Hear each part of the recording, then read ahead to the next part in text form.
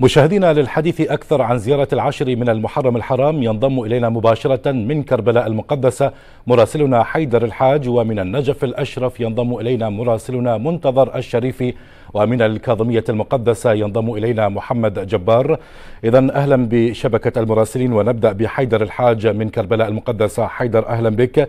يعني أنقل لنا صورة الزيارة في كربلاء المقدسة حتى هذه اللحظة. هل ما زالت مستمرة؟ وأيضا نتحدث عن التفويج العكسي للزائرين والتنظيم الخاص بالزيارة. تفضل.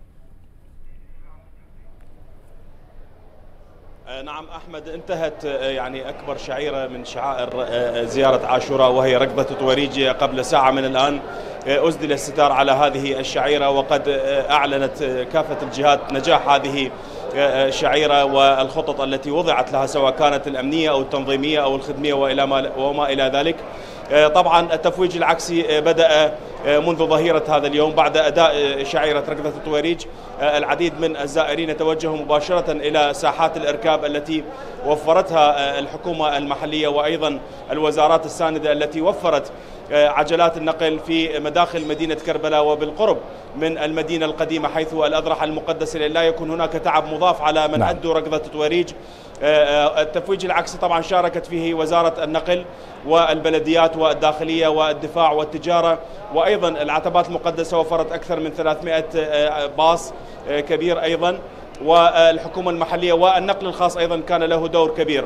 وزير الداخلية عبر نداء مركزي آه، أولا شكر كل الجهات الأمنية التي ساهمت في تنظيم هذه الزيارة ووفرت الأمان للمؤدين لهذه الشعائر وأيضا أكد الوزير في ندائه على البقاء في ذات الوتيرة بالنسبة للأجهزة الأمنية من أجل أن يعني يتم إجلاء أو نقل آخر زائر من كربلاء وتفويجه عكسيا إلى محافظاته أو إلى المطارات والمنافذ الحدودية بالنسبة للزوار العرب والأجانب. طبعا الخطط كانت مراقبة بالكاميرات سواء كانت مسار ركضة طويريج أو التقاطعات التي حول الأضرحة المقدسة من أجل أن تكون هناك يعني كفاءة عالية وتنظيم عالي من أجل أن تكون نعم. هذه الركضة كما آه، آه، آه، يعني خطط لها وقد نجحت بشكل كبير والآن بدأت العتبات المقدسة بفرش يعني الصحن الحسيني الشريف بعد أن كان مفروشا بالرمال لأن ليمنعوا انزلاق الزائرين المؤدين لركضة التواريج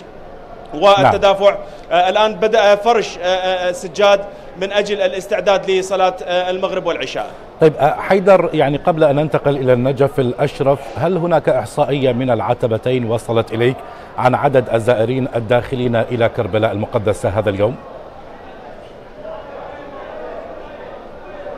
لغاية هذه اللحظة لم تعلن أي جهة أه، عن الأعداد التي شاركت بركضة التوارج ولكن نعم. أه، وعد يعني الإعلاميون وعدوا بأن سيكون هناك مؤتمر خاص لإعلان آه، آه، نجاح الخطة. طبعا أعلن وزير الداخلية نجاح الخطة ولكن هناك الجهات الأمنية أيضا آه، قيادة العمليات والعتبات مقدسة تعلن نجاح الخطط الخدمية والأمنية والتنظيمية وستعلن أيضا عن رقم الأعداد المشاركة في ركضة التويرس طبعا هناك أكثر من آلية لإحصاء أعداد المشاركين. أولا الكاميرات التي نصبتها العتبات مقدسة وهي ذات كفاءة عالية يمكنها أن تحصي أعداد الزائرين. وأيضا هناك التصوير الجوي التابع للجيش العراقي يحسب أعداد الزائرين حسب المتر المربع الواحد نعم. يضربه في عدد الأشخاص المتواجدين في هذا المتر المربع ثم في المسافة بشكل عام وتظهر لدينا أرقام على الأقل تكون تقريبية. نعم إذا حيدر ابقى معي ودعني أنتقل إلى النجف الأشرف مع منتظر الشريفي منتظر أهلا بك.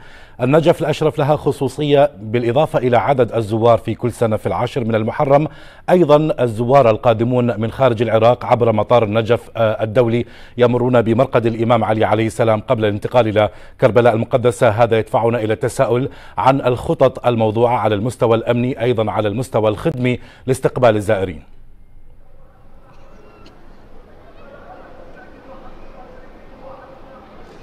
أبدأ مما انتهيت أحمد. مطار النجف الدولي أعلن آه، في وقت سبق من هذا اليوم عن تسجيل 59 رحلة ما بين الذهاب وإياب. في هذين اليومين يعني اليوم نعم.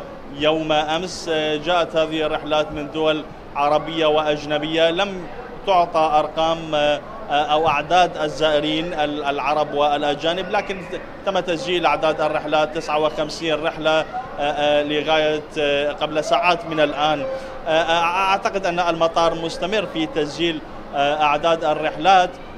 في ربما في اليومين أو الأيام القادمة وذلك لاستقبال الزائرين الذين يأتون للمشاركة في أربعينية الإمام الحسين نعم. عليه السلام تاديه من لم يلحق أيضا بزيارة عاشوراء سوف يأتي لتقديم العزاء للإمام علي. من ثم التوجه إلى كربلاء ربما حتى في الأيام القادمة. على كل حال الزيارة انتهت. كانت الذروة من مساء يوم أمس ولغاية فجر هذا اليوم.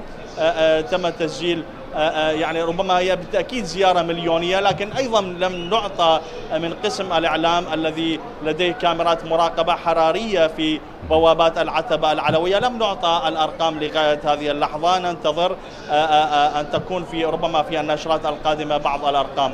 على كل حال تم رفع السجاد الأحمر في المحيط بالعتبة يعني أكثر من خمسين ألف متر مربع تم آه، آه، إكساء هذه المنطقة لاستقبال المواكب الحسينية. يوم أمس تم رفعها هذا اليوم. تم البدء بعملية التنظيف من صباح هذا اليوم. تنظيف الأماكن المحيطة. الحياة عادت بشكل طبيعي لمحيط العتبة العلوية وداخلها. آه، الزوار ما زالوا يتوافدون بشكل قليل. على المرقد العلوي بعد إحياء ليلة ليلة يعني ليلة عظيمة كانت يوم أمس وقد شارك فيها الكثير من الزائرين من كما قل كما أسلفنا من داخل وخارج العراق. هنالك لا. جهد أيضا في عملية التفويج الزائرين من قبل وزارة النقل آه، آه، التي وفرت أكثر من خمسة آلاف مركبة على الرغم من أن يعني آه، حجم الزيارة وكبرها موجود في كربلاء لكن النجف أيضا لها دور كبير.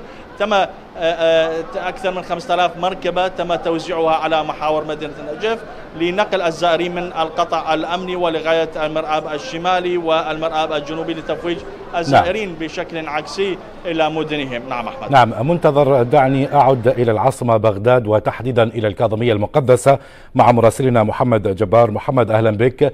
يعني حدثنا آه، عن كيفية استقبال الكاظمية المقدسة للزائرين والأعداد الكبيرة للزائرين الوافدين. إلى المدينة المقدسة والخدمات المقدمة لهم. تفضل.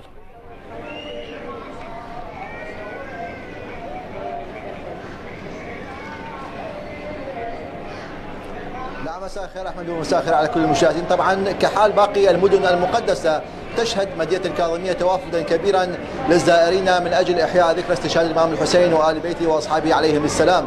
الزيارة تسير بانسيابيه عالية وفق خطة أمنية محكمة آه، تأخذ على عاتقها تأمين الزياره من جهة وتأمين الانسيابية والسلاسة للزائرين حيث نعم. أعلنت قيادة عاملات بغداد اليوم عن نجاح خطتها وهي الخطة الأولى من نوعها منذ 20 عاما التي لم تشهد قطع أي شارع فرعي أو رئيسي لتأمين الزائرين وليس تأمين الزائرين فقط وحتى المواكب الحسينية مواكب الخدمة مواكب العزاء المتنقلة والمتحركة كلها شهدت تامينا كاملا من قبل قيادة عمليات بغداد من أجل إنجاح مراسم الزيارة في مدينة بغداد.